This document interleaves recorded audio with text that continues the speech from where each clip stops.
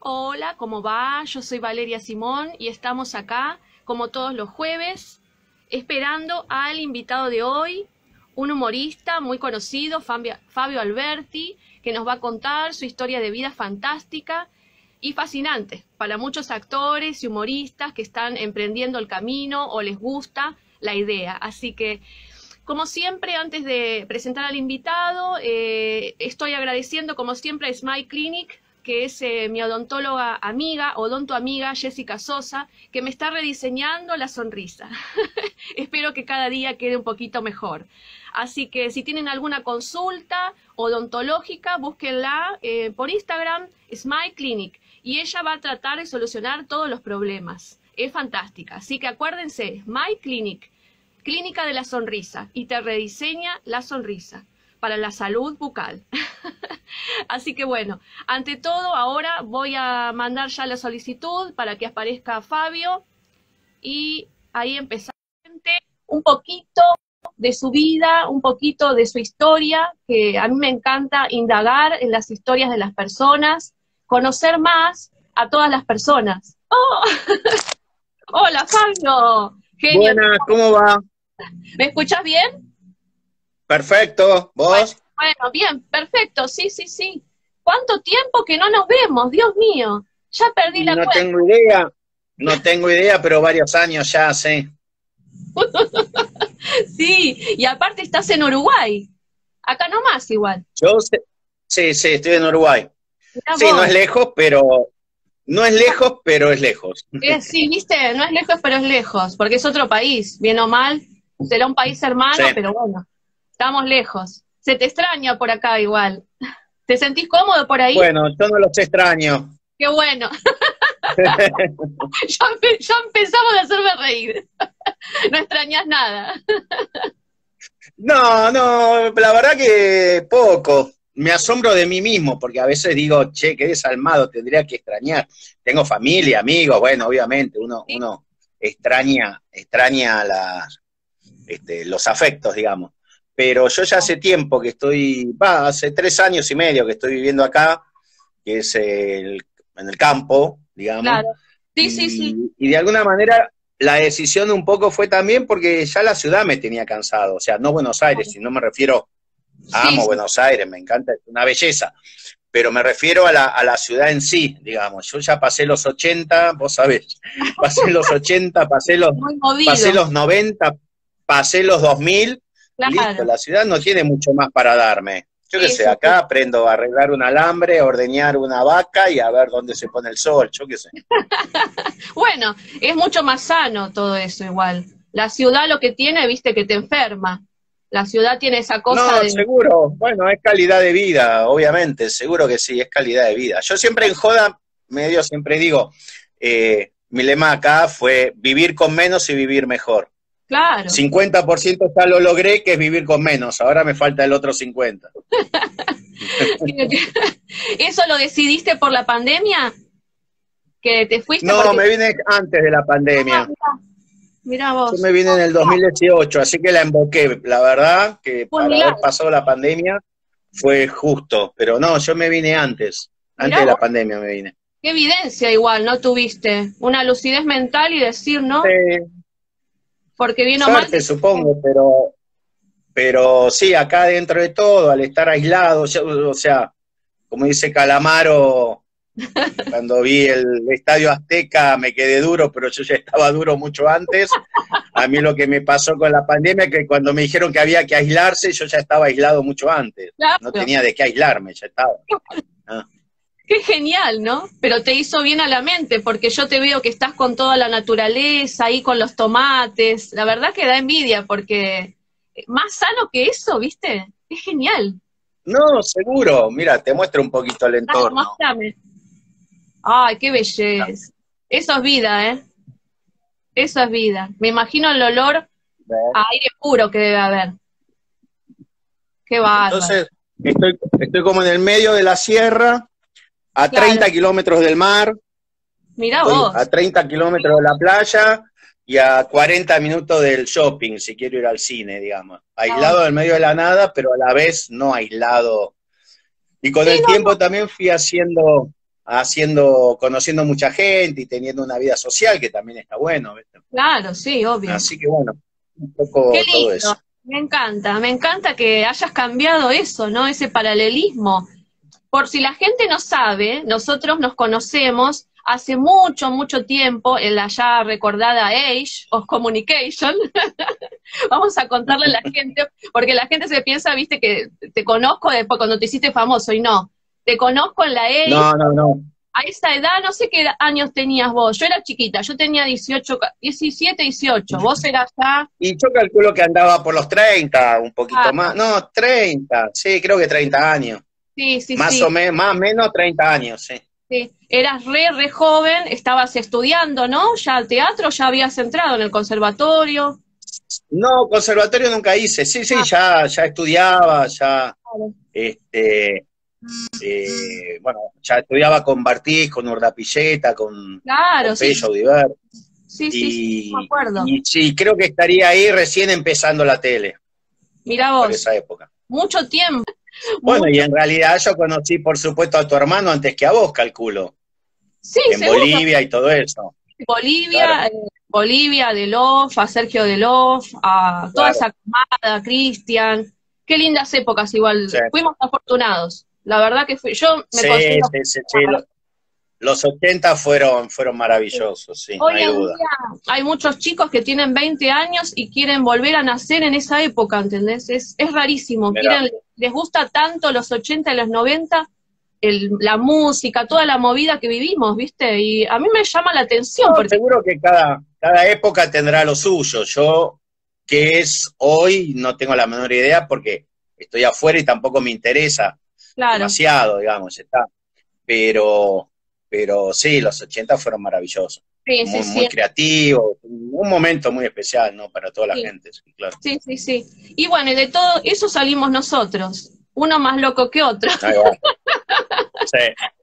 Así que bueno, yo quiero que me cuentes, eh, más que nada, la pregunta más interesante es cómo vos te diste cuenta que querías ser artista, digamos, ¿no? Eh, que lo tuyo no era ser, yo sé que venís de una familia de médicos, que lo tuyo eh, no era... Sí, no, mi viejo, mi viejo cirujano, mamá ama de casa, eh, no, yo nunca me, consideré ni quise ser artista.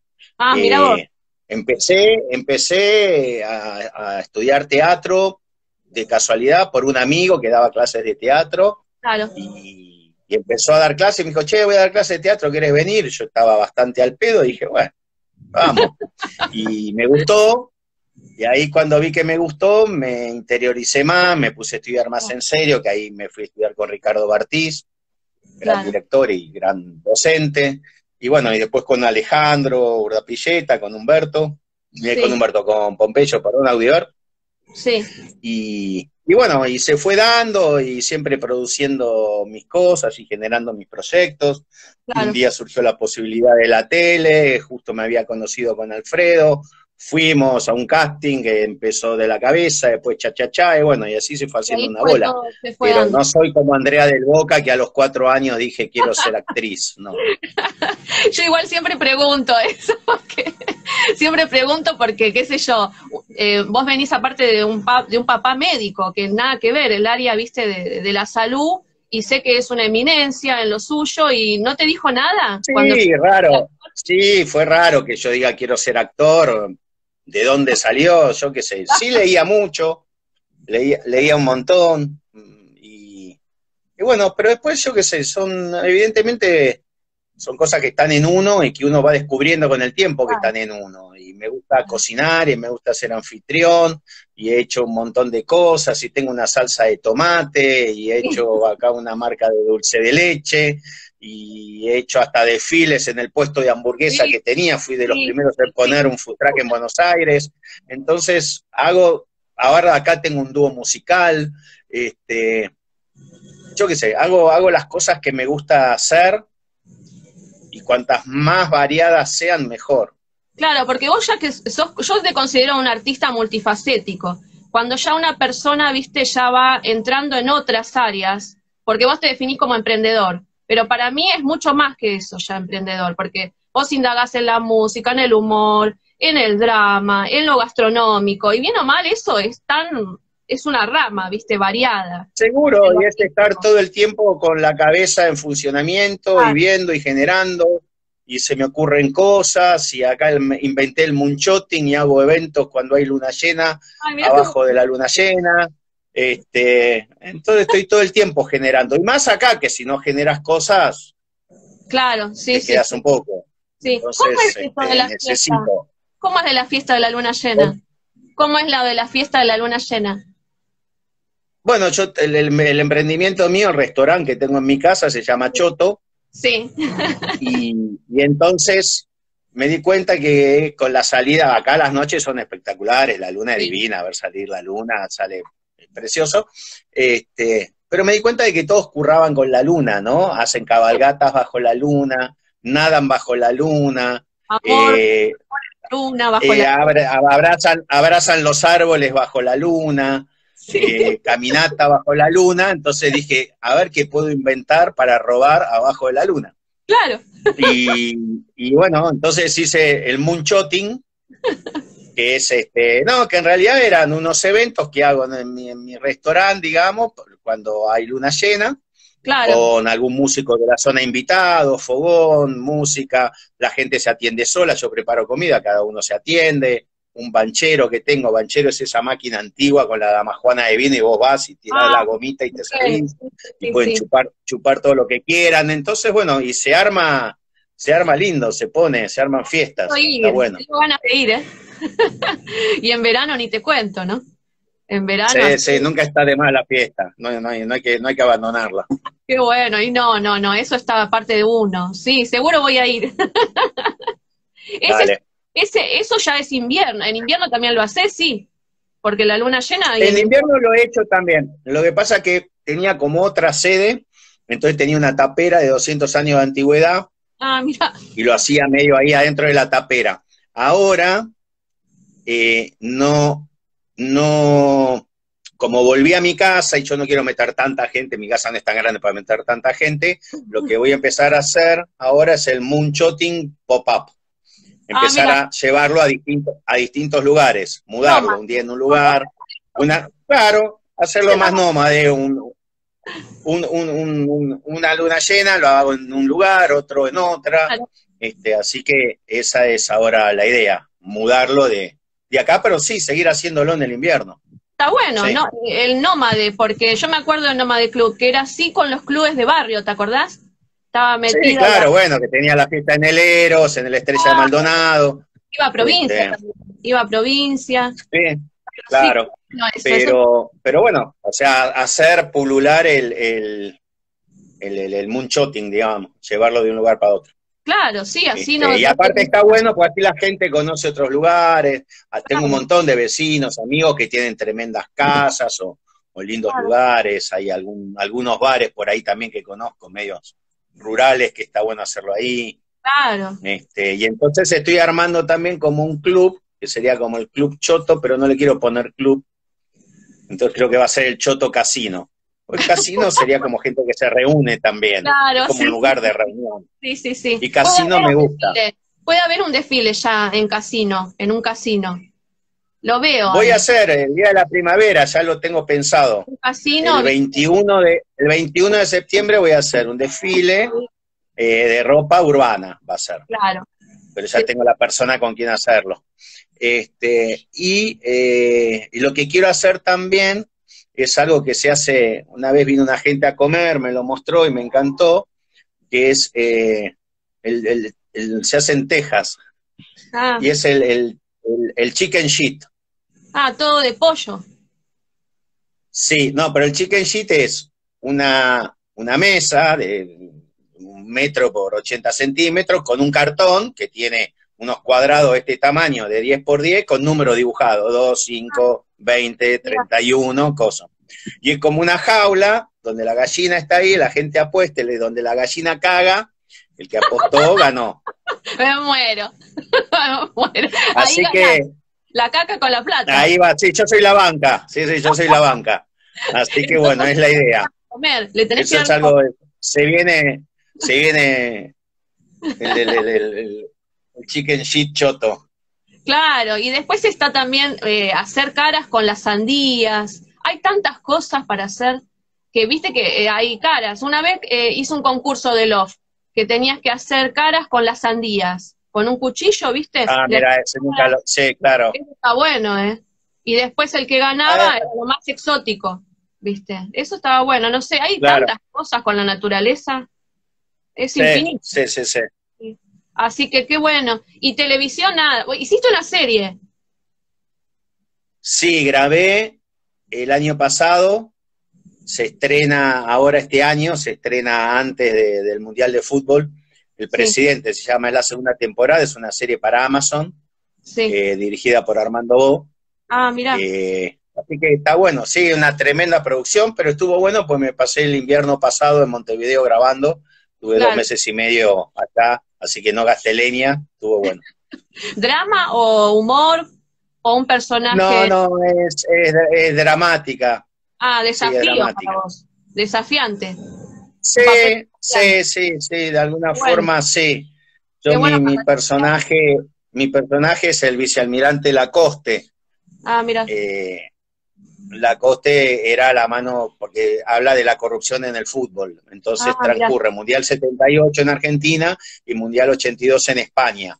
Ah, eh, la mano derecha de Sobao Avalanche, que era el presidente de la FIFA, era eh, Lacoste, que era el milico argentino. Ah, mira. sí, así que tupe gente, torture gente, mate gente, coimé, todas esas cosas que hacen los milicos. Para limpiar un poco la, cosa del humor, ¿no? Porque a vos tenés, tenés, eh, tenés, esa cosa del humor, viste, que de esos personajes que vos hiciste, inventaste, que quedaron. Igual el otro día te vi... ¡Basta, Basta. ¿Quién era? Sí, perdón. Tengo una perra que molesta a la oveja y le rompe las pelotas y no la deja tranquila. Basta, ven acá. Basta. Igual no me dan pelota los animales. el otro, día, el otro día te vi abrazando a una oveja, ¿no? A una ovejita. Qué linda esa ovejita. Puede ser. Estas son, ¿ves? Acá hay una perra. Ah, pero es hermosa. Es hermosa. bueno, bueno, tranquila, tranquila. Bueno, tranquila. Y ahí está la otra. Es peluda, ah, ¿eh? Oh, me la ah. Bueno, basta. Te transó ahí. Son muy cariñosas. Te transó. Acá son pelotas, si le hago cariños a una, vení acá, basta. Bueno, sigamos, no. Oh, te, vi, el otro día haciendo de tu personaje célebre de boluda total. No sé qué era, era sí, porque... ¿Qué era? Eh, voy a hacer un show en, en, Buenos Aires mm. el 16 de julio. en Café Berlín, ¿eh? en, en Devoto, en Devoto. Voy a hacer un show voy a hacer un show en Buenos Aires con Pablo Oliva. Pablo Oliva es el ex cantante de Gaspacho. Ah, mira. Eh, que ahora es solista y es vecino mío acá, nos hicimos muy amigos. Mm. Vamos a hacer un show. Él con banda, parte musical y show humor. Eh, lo vamos a hacer ahora el 4 de junio en Montevideo y después en julio en Buenos Aires. Ah, porque hay mucha gente acá que te quiere ver, ¿viste? Terriblemente. Mi marido dice que te ama. O sea, va a ir seguro. Y, después en Montevideo, más adelante, creo que en agosto, no sé bien las fechas todavía, con el dúo musical que tengo acá, que nos llamamos el dúo para que le den, eh, vamos a abrir, vamos a ser teloneros de San Bayoni, que viene a ah. tocar acá a Montevideo. Ah, mira qué bueno, qué bueno. Sí, así que bueno, siempre generando cosas. Hay un montón de proyectos igual tenés un montón de pero tranquilo, o sea, y el restaurante va bien igual también. Sí, o sea, es poca la gente que viene, yo estoy lejos, pero cuando viene gente viene, cuando no viene no viene, me tienen que avisar antes. Claro. Este, pero bueno, cuando me avisan somos tantos, son, son dos, yo abro para dos. Eh, vienen a comer a mi casa. Es así, es totalmente informal. yo no soy cocinero, no soy muy rico lo nada, lo hago porque me gusta lo hago porque me gusta, con el tiempo fui aprendiendo y, es comida casera como la que uno puede comer en su casa, bien hecha. Claro. no, acá mostrás, unas comidas riquísimas. Son como para salir robando. Van salir, sí, está bueno, rodando, ¿viste? Te van sacando así ahí. ¿Y cerveza artesanal no, no, no, aprendiste a hacer? No, no aprendí a hacer. Hay acá gente en el pueblo que hacen cerveza artesanal. Yo lo que aprendí a hacer son quesos.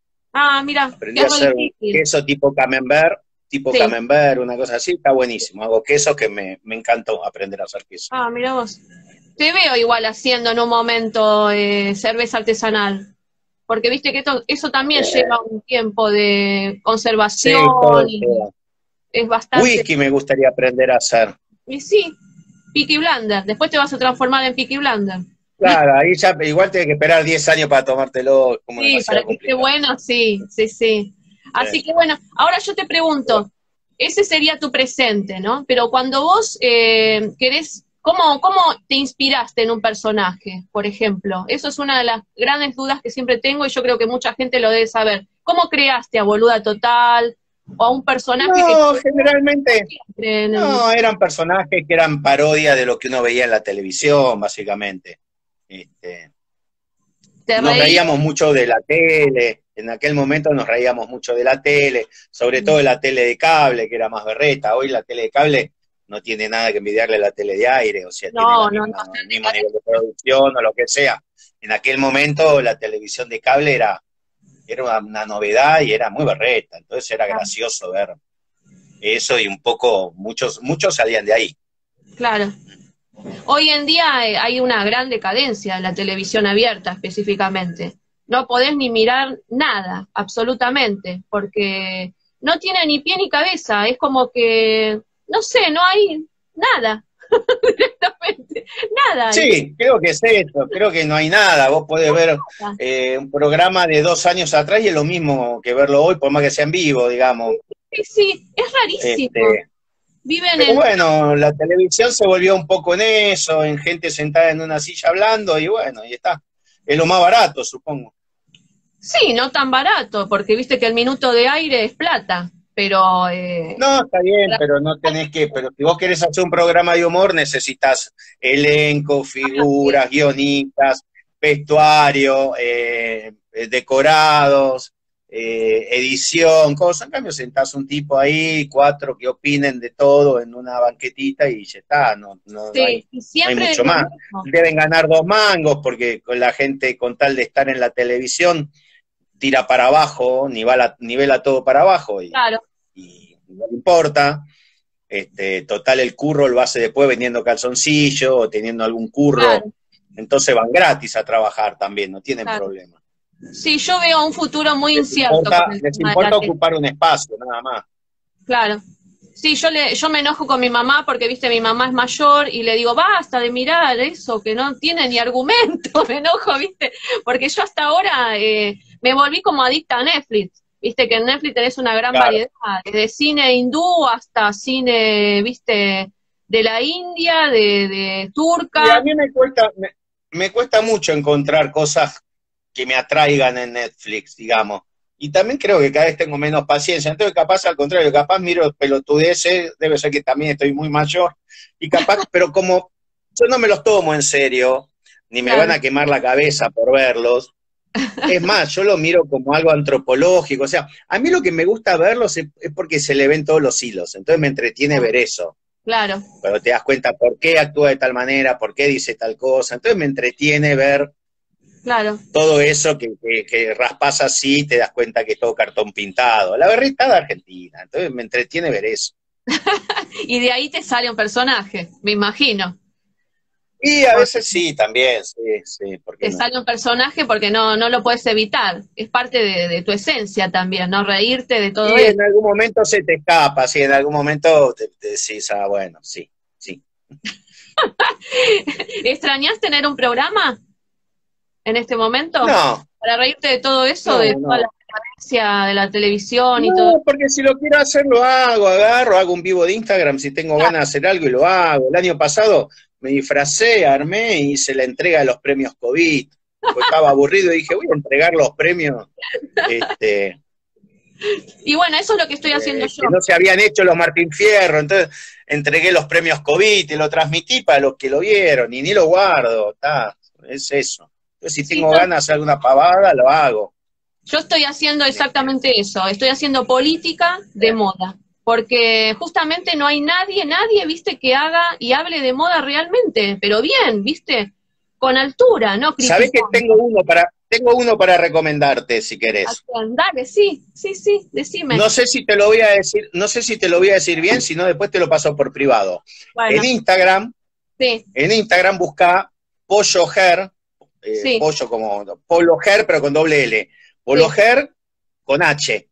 Creo que es Pologer-73, me parece. Yo después te lo paso bien.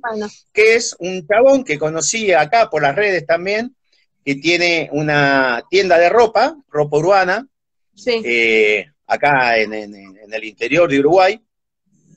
Y el chabón prácticamente todos los días, día por medio, sube un video, es súper interesante, miralo pues te va a gustar. Sabe una bocha el chabón. A mí me sorprendió y sube unos videitos en su local hablando de distintas prendas. Entonces te cuenta el origen y toda la historia de las zapatillas Vans. Y el origen y la historia de la camisa a cuadro, la historia del chaleco. Y, está buenísimo, está súper interesante, porque es muy didáctico y lo explica muy bien y es ameno, está bueno. Y bueno, la idea justamente es esa. Eh, yo empecé, como tengo tantos amigos y conocidos como vos y como un montón de gente, me pareció tan interesante porque siempre conozco como una parte de, esa gente, ¿entendés? Como vos, una parte conozco. Y después, viste, cada uno siguió su camino, siguió trabajando. Y todo eso me encanta en indagar en su presente, ¿viste? Y eso se me ocurrió justamente, estas entrevistas, ¿viste? Porque es fantástico con, terminar de conocer a esas personas que yo ya conocía, ¿entendés? Por ejemplo, ya hice, hice el otro día cubrí tramando. Tramando ya no está más churba, o sea, ya hay otro diseñador, jovencito. Ah, mira vos. Mira vos, viste. Yo tengo acá, sé que tengo acá uno que en el invierno cuando la gente viene a comer, le doy así como, te dan una frazadita, ¿viste lo que sea? Les doy unos, una, unas frazaditas que son de churba. Y la gente no me cree, yo le digo, tomate, abrigo, le digo, esa mantita es de churba. Y es verdad que es de churba, me las hizo Martín que son de polar negro con, unas, con unos brillitos en la punta. claro, este. y así el otro día, por ejemplo, yo nunca había ido al desfile de Piazza. De Roberto Piazza nunca había ido, era la primera vez. Y bien o mal, eh, él no viene de nuestra generación, sino es anterior. pero me encanta, ¿viste? Porque él rompe con un montón de cosas, ¿viste? Del prejuicio, de cómo mostrar sus diseños, se crea su propio universo. Eh, a mí me parece súper talentoso, digamos, en lo suyo, sin haber ido nunca a un desfile, sin conocerlo a él, ni haber visto tampoco tanto. Pero es un tipo que puso no sé cuántas escuelas de costura y confección, y que si le das una tijera la sabe usar, bueno, es un montón. Es un montón en este país ya hacer eso. Entonces yo redescubriendo gente que ya está, ¿entendés? Redescubriendo gente, como a vos que te redescubro, que ya te conocía de antes, pero tenés otro presente muy rico, ¿viste? De, de, lo gastronómico y todas las ideas, ¿viste? Entonces, eso es lo que se me está ocurriendo y la verdad que es un éxito, porque me hace bien a mí, me hace estar lejos pero cerca. está bien. Eso está bueno. Así que, así que bueno, eh, en tu futuro, ¿qué, qué te gustaría, qué, qué legado dejarías? Para las nuevas generaciones. Nosotros ya estamos viejos. ¿Qué aporte? No, no, todavía, todavía, todavía tengo un show ahora el mes que viene, otro el otro mes. Por ahora. ¿Qué aporte Vamos, vamos a seguir. ¿Pero qué aporte te gusta? No sé, yo esas cosas no las juzgo, las, se las dejo a los demás. Yo hago, hago lo que siento, lo que me gusta hacer, de la manera que lo hago. ¿Y mm. qué le quedó a los demás? Sí, con el tiempo aprendí, por ejemplo, eso sí, a valorar lo mm. que uno capaz lo hace o naturalmente o porque es su trabajo, lo que sea, pero uno lo hace sin tener tanta conciencia de lo que pasa del otro lado, con los años entendí y, recibí y, me abría a, a, permitirme recibir un montón de cariño de gente que te dice, y mira, la verdad, este, mi papá estaba así, terminal, en una cama, y lo único que lo hacía reírse era encender la tele a la noche y nos juntábamos con él, y era el único momento que yo lo veía sonreír. Entonces hay un montón de esas historias que uno no sabe qué pasan, pero que uno genera eso en la gente terminal y no terminal, ¿no? Sí, sí, sí. Pero, es un milagro. Pero está bueno eso. Entonces, ese es el legado. El que lo entendió, el que lo disfrutó y el que está agradecido, eh, yo estoy igual de agradecido por, habernos aceptado, digamos. Sí, sí, sí. Qué lindo todo lo que dije. Qué lindo todo lo que dijo. Hay una generación de los 30, los 40, que es muy... ¿Podés dejar esta oveja tranquila? la blanca, la blanca. Sí. La blanquita. Ay, qué linda que es. Dios mío. Vení acá, Rea, basta. Lo que pasa es que la persigue, la persigue, la persigue, la persigue todo el día. La cuida. Primero que me la cansa, por oveja se cansa. Pero la y Segundo, que a veces la corre. No, pero que aparte a veces la corre y si la corre es peligroso porque capaz la otra por correr, acá hay piedra, lo que sea, se, se manca, se dobla una mano. Claro. Y está al horno, porque si queda tirada, queda echada, no puede comer. Claro. Este. Y pero no se habrá enamorado el perro de la. no sé. Capaz que hay como una cosa, ¿eh? No, seguro, puede ser. Puede, ser. sí, es posible. Mi gata, mi gata es como un conejo. O sea, es como un. Bueno, sí, no, acá todos los. Basta, rea, basta, basta. Este, sí, los animales necesitan estar acompañados, vivir en manada. Yo tengo una yegua, que ahora la tengo del otro lado, pero si la soltás anda con las ovejas, no anda sola. Ah, mira. Este, y sí, sí, sí, El animal es maravilloso. Todos, necesitan, nacen, nacen con lo que haya, por más que sea otra especie. Este, hay, una, hay una generación que es de los 30 a los 40 que te recuerda muchísimo, que es la que vos me estabas diciendo, de lo que dijiste, que es la generación esa. Sí, sí, bueno, seguramente. Bueno, pero también, también es llamativo gente joven, gente que ni había nacido cuando hicimos cha-cha-cha. Un tipo que tiene 30 años no, había nacido cuando hicimos cha-cha-cha, si cha-cha-cha tiene 30 años ya. Entonces, viste, gente que lo descubrió ahora o hace cinco años en Internet y 25 años después está vigente para generaciones nuevas que están acostumbradas a otro ritmo, a otra frecuencia, y está buenísimo que eso pase. Qué increíble. Significa que estábamos bastante adelantados en lo que hacíamos. Sí, vanguardia, vanguardia, total, total. Ah, sí, sí, sí. ¿Y tenés conexión con tus otros compañeros o más o menos? no, con Alfredo nomás. Con el único que tengo contacto es con Alfredo, que incluso fui ahora, me invitó a participar de un show de él, y mm. estaba Lacrán también, que no lo veía hace un montón, así que bueno, estuve en contacto con Rodolfo, pero con el único que estoy en contacto es con Alfredo. Que a la vez digo, bueno, fue con el que empecé, por algo será que con el que empecé, con el único que 30 años después sigo en contacto, ¿no? Qué bueno, qué bueno. Igual nunca, nunca significa que van a volver en algún momento, porque se llevan tan bien. No, hacer televisión y todo eso ya no creo. Ah, ya no creo. Pero bueno, veremos, yo qué sé, nunca se sabe qué puede nunca pasar. Nunca se sabe, nunca se sabe. Porque y aparte hoy hay otras plataformas y hay otras maneras, no necesariamente tiene que ser la televisión de aire, que ya está bastante obsoleta de por sí. Sí, para mí ese es el futuro que yo le veo. Le veo un futuro incierto a la televisión abierta. no quiero ser Cada vez más, sí. Y sí, bueno, van apareciendo por suerte nuevas, nuevos formatos, nuevas. ¿Y a la moda? ¿Cómo la ves? No, estoy totalmente desinformado. No, Ando con un pantalón roto que me da lástima tirarlo. Cuando tengo que tirar una remera lloro, pues de tantos agujeros que tiene me da lástima tirarlas. Y acá como estoy con ropa de trabajo, así como que y ya nada, ya soy una porquería, pues si me voy al pueblo ni me cambio, entonces voy con la misma ropa sucia con la que estuve trabajando, soy una porquería. Este, pero, pero no, no, no estoy, no estoy tan al tanto de la moda. Sí lo estuve en algún momento. Siempre me gustó, me gusta, me gusta. yo sé que si te tengo que ver, o capaz, o capaz te miro, no sé, los, vestiditos de canes y me encantó. Y, pero, ¿Qué vestido? Este, Sí, sí, sí. bueno, me alegró. ¿Querés eh, agradecer algo? Si querés eh, acotar algo más. Para mí ya no, creo que está todo dicho. No, está todo absolutamente dicho. Me voy a encender el, fuego y acá va, a reavivarlo. Pues acá ya ahora, ya una vez que se enciende, no se apaga más. Bueno. Ya queda encendido todo el invierno. Claro, y sí, porque hace frío.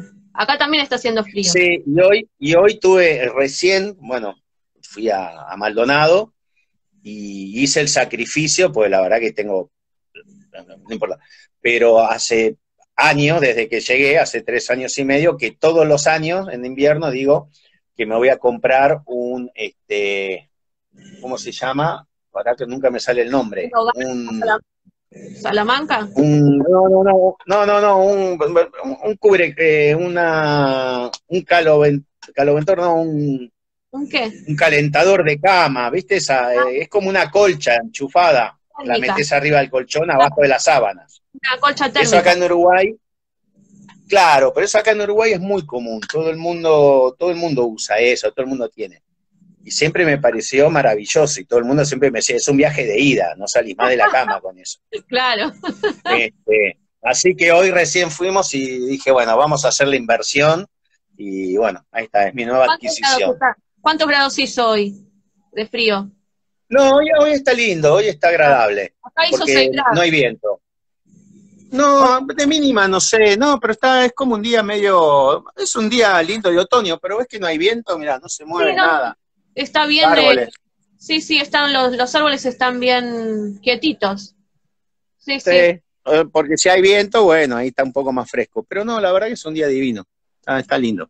No digo que hacen 20 grados, pero, pero 16, 17, 15. Claro. Bueno, me alegró verte muchísimo. Tengo que irte a visitar. Bueno, muchísimas gracias por comunicarte. Y a toda la gente quiero que le digan que vayan a visitarlo, así van y conocen el restaurante que hizo. Yo tengo que ir. Instagram, Instagram choto.uy, buscan Instagram choto.uy y después eh, hacemos un show en eh, el 4 de junio en Montevideo y el 16 de julio en Buenos Aires. En Buenos Aires. Ahí estaremos, así te cubro el evento. Dale. Avísame. bueno, te quiero, Fabio. Un besito. Beso. Y gracias. Gracias. chao, chao. Chao, chao. Ahí. Ahí lo corto. Ahí cortamos. ¿Cortas vos? Ahí está.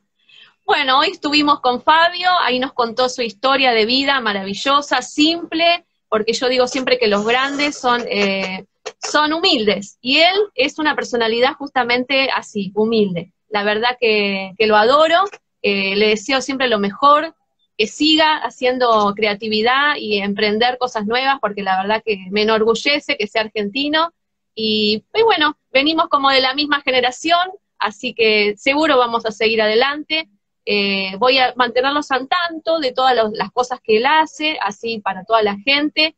Eh, pueden estar comunicándose, irlo a visitar, conocer su restaurante maravilloso, eh, sus animales, y ese es un paraíso igual, ¿no?